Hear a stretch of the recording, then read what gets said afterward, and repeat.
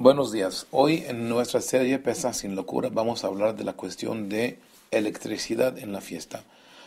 Ah, hay mucha gente que no usa electricidad en la fiesta y no estoy seguro que eso sí es permitido.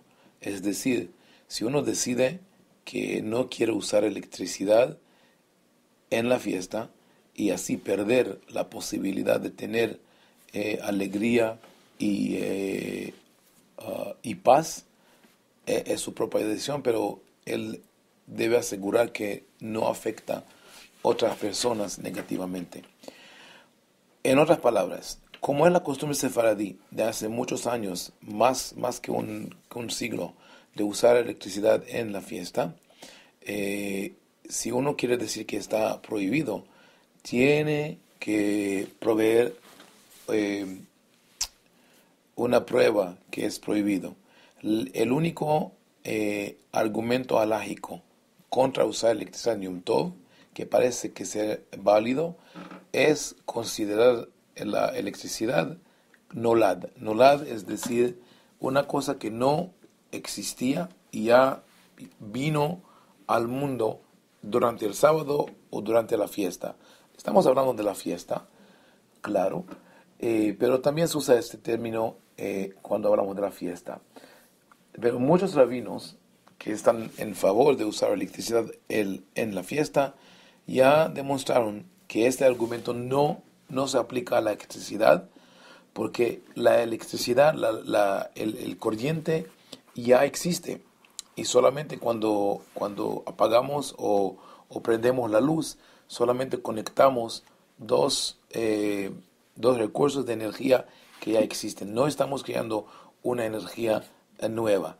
La verdad es que la costumbre entre muchas congregaciones sefaradíes siempre fue usar electricidad en la fiesta. Eso también fue el, la costumbre en Jerusalén en el siglo XX y así fue también la, el, eh, la regla, el psak de mi bisabuelo Hajam Yuda Fetaya Alaba Shalom. Eh, todos esos eh, sabios sefaradíes que decían que se puede usar electricidad en Shabbat, entendieron muy bien qué es electricidad y cómo funciona y hay también unos rabinos ashkenazíes que, que juntaron con ellos. Por ejemplo, voy a mencionar ahora eh, Rabino Yosef Meshash, que dice, Anu Bene Sefarad, Nahagnu Latir Adlakat Hashmal Beontov. Nosotros los Sefaradim tenemos la costumbre de eh, permitir usar electricidad en la fiesta. También lo repite en su libro Maim Hayim, eh, número uno, el primer volumen, el capítulo 94 dice, Pashut, es la costumbre de prender y apagar la luz en, en, en la fiesta, no hay ninguna duda. También lo dice Rabbi David Akuen Sekali, en Kiryat Hana David 2.56, Ora Nizkar, le añadan la Katob Biom Tov Atzmon, y Ali Shen Lo no es prohibido. También lo dice el, eh, el gran rabino de Israel, menciona Hay Uziel, el Mishpite Uziel, primer volumen, 4.19. Es permitido prender y apagar la luz en Yom Tov. También nos dice Rafael Aron Shimon, el, el gran rabino de, de eh, Alexandria, en el libro Mitzur de Vash o Haim 10, mutar la ligneja electric biotov lipikpuk klal, no, no cabe duda que se puede prender electricidad en Yom Tov. También lo dice Rabbi Obadiah Yosef en Yabi Omer, volumen 2, Ora Haim uh, 26. Pashat Aminak Pope Mitzrayim Gamben Haredim Lidvar Hashem Latir Adlakat Hashman Beyom Tov. Es la costumbre aquí en Egipto, inclusive entre los más ortodoxos, de usar electricidad en Yom Tov.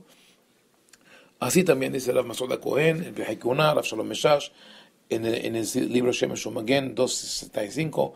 También los de los Ashkenazi Rebbe tenemos Rabbi Tzvi Pesach Frank, el, gran rabino de Jerusalén, eh, y Rabbi Yael Michael Epstein, que escribió Aruch HaShulchan, Rabbi Benjamin Weiss en Eben Yekara, en Rabbi Eliezer de Waldenberg en Tzitzel Todos estos rabinos están de acuerdo que se puede usar electricidad uh, en Yom Tov. Son rabinos de, eh, del África del Norte, de eh, Europa, eh, del, este y oeste de Europa, de Israel, de Turquía y de Egipto.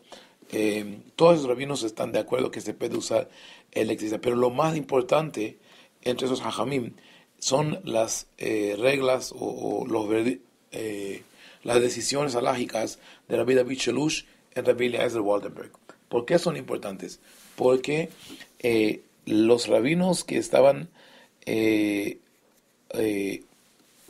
opuestos a usar electricidad en Yom Tov, decían que esos primeros rabinos que dijeron hace 100 años que está permitido, no entendieron qué es la electricidad. Pero Rabbi, David Shelush es un sabio, un, un, genio, que no solamente estudia la halajá, sino estudia todas las, eh, eh, toda la data científica que existe y en ese caso se, se, se eh, estudió con un físico eh, ortodoxo para entender exactamente cuál es la, electricidad. Eh, la conclusión de él es en su libro Hemda Genuza, volumen 1, páginas 67 a 100, que inclusive los físicos no, eh, los científicos no saben qué exactamente es la electricidad, pero claro que no es luz, claro que no es una cosa que, que está creada de nuevo en Shabbat, sino ya existió antes. Y dice, Sof davar nira להדליק על להתיר הדלקת חשמל ביום טוב, מנורת החשמל ושאר מכשיריו מותר לכבותם ביום טוב. Dice, es permitido de prender y apagar la luz en Yom Tov, así también dice la Biblia de Waldenberg. Así que ese argumento que la, la, eh, la decisión alágica que la electricidad es permitido fue escrita por gente que no sabían que la electricidad, ese argumento no, está, no es válido porque tenemos eh, sabios contemporáneos que, que, entienden claramente todo, todo el significado científico de lo que es la electricidad. Ahora, ¿por qué eh, se cambiaron unos rabinos sefaradíes su eh, actitud en Ah, en los años 60, 70 y dijeron que no se puede usar electricidad, eh, parece que es una cosa teológica más que una cosa lógica, eh, como están preocupados que la gente va a usar electricidad en Yom Tov y perder el espíritu de Yom Tov. Y van a usar teléfonos, video games, o, o, ver TV o cualquier cosa. Bueno, eso, eso es un argumento interesante. Pero tenemos que saber que los rabinos no deben decir que una cosa es prohibida cuando es permitida, sino tienen que educar a la gente. No pueden decir, miran, esto está permitido, ¿cómo va a ser su, su fiesta? Ustedes tienen que decidir, tienen que negociar con sus hijos, eso lo hacemos, eso no lo hacemos. No porque es prohibido, sino porque así queremos mantener eh, el, ambiente de un top. Así fue conmigo y con mis hijos. Yo crecí en una casa donde se usaba eh, electricidad en la fiesta y también lo hago hoy.